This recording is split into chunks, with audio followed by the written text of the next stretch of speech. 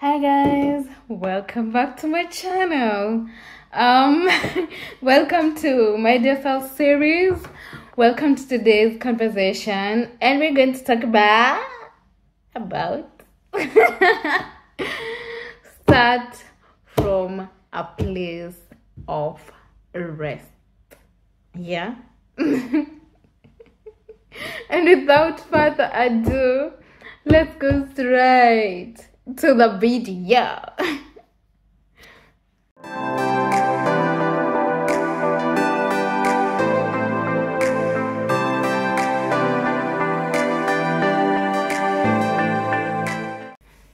um, hmm. So, guys, let me tell you. I know we are in a rush to catch up with life, to like, uh, what is it? Chase the bag, you know, chase the bag, make things right, yada yada, all those fancy, fancy things and important things. But I know, like I mentioned this in one of my vlogs, but I'm going to emphasize it here. We need to start from a place of rest in the sense of like you know i had made it my business by the way i have fallen like off. Yeah i've fallen off the the routine but i had made it my business to wake up at least 30 minutes earlier. At least 30 minutes earlier so that i can have rest. Like i've prepared myself i've done everything. Like prepare myself mentally and psychologically. And it really does magic because it sets you up for the day like it's amazing because I, I what i used to do was like um like just rest like be in that rest uh, mode and also like read the bible and pray. And it was amazing. Maybe take a drink or something because I used to make dawa. Nowadays I don't. I, I make the ginger shots. Like dawa, dawa, dawa in short ni concoction. It's concoction like the um, ginger, honey, and uh, lemon. So yeah, take the take the dawa and then relax. And it was really nice because it will set the mood for my day. And I wanna go back there and to my future self, please start from a place of rest. It it sets you up for a good day. You have meditated about it. Not really i'm not saying it's not a must for you to meditate but at least you start from a place of rest. The other the because there, there's like two meanings to this statement. The other thing is like start from a place of rest in the sense of like god has already done it for you. I don't know I don't know whether I'm making sense to you guys. Like, God has already done it for you. So, start from a place of rest.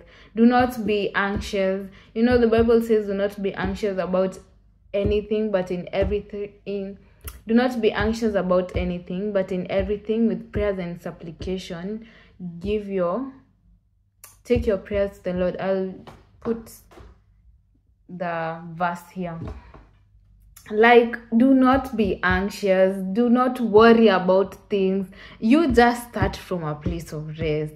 In the sense of start from a place of victory. The because this this this uh, whole topic is derived from a sermon that i listened to like uh, one month ago or two. And the preacher was just saying like we shouldn't live for victory but live from a place of victory. In the sense of if you live for victory it's like you live to see like you live for it. You get but we need to live from a place of victory. Like you live from a place where i have the victory already. Victory is already given to me. I just have like to live from from it like there's this time like just a few days ago i just told myself because it was like i'm doing like a self um self discovery challenge 21 days of self discovery challenge. And the question for like that day was like what will you tell your your younger self? And i remember noting down and telling myself that god loves me already and he's working it he has already worked it out for me. Like everything that god does it is for my own good. Like i need to know that. I need to know that. That as much as probably i might be in a season where it's so hurtful it's so like i can't take it it's so heartbreaking but i need to remember that i'm living from a place of victory that god is doing it for me.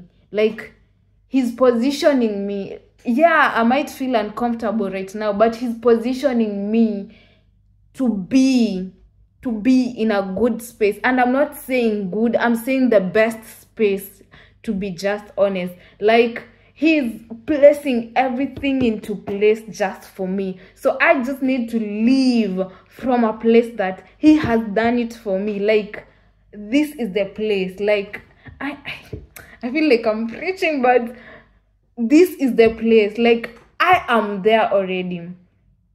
And the simplest examples that the example that that preacher gave was was like you see every time you want to sit down every time. And i'm saying every goddamn time. Even when you go to visit strangers when you go to seminars when you go to conferences when you go to church when you go to a stranger's house when you go to your own home you never never look at the chair whether it's broken.